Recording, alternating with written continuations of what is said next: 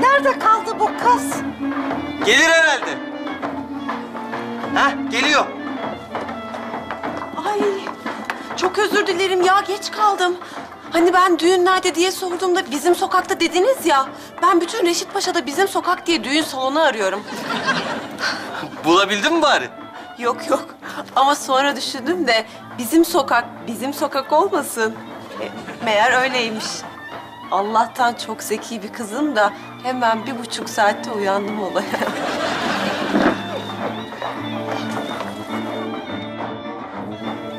Nefise. Bir çikolata kokla istersen biraz çiçek kemir.